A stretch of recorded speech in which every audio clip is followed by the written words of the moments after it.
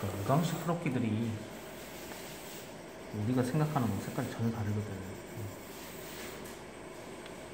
그리고 현용기 만들다가 프로키 만드시는 분들이 많이 이제 이 코피트부터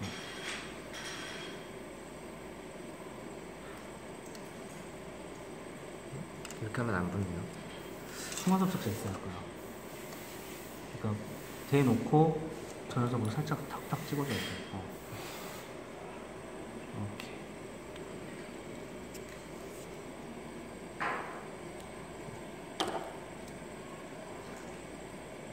관쪽을 먼저 접착을 시키고